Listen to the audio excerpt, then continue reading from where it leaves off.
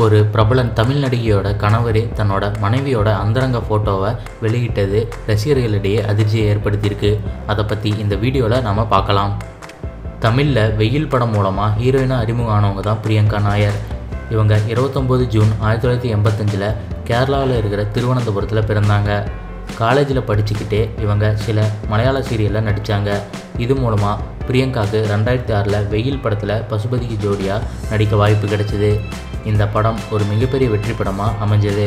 இதையடுத்து சில தமிழ் படங்களில் நடித்த பிரியங்கா அதுக்கப்புறம் மலையாள சினிமா உலகத்தில் பிஸியாக நடிக்க ஸ்டார்ட் பண்ணாங்க.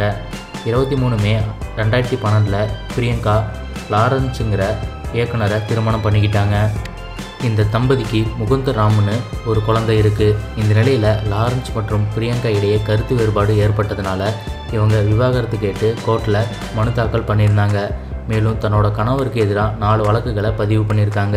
மேலும் தன்னோட கணவர் லாரன்ஸ் என்னோட அந்தரங்க படங்களை சோஷியல் மீடியாவில் லீக் பண்ணதாக சொல்லி பரபரப்பு தகவலை வெளியிட்டிருக்காங்க. இது ரசிகர்களிடையே அதிர்ச்சியை ஏற்படுத்தியிருக்கு.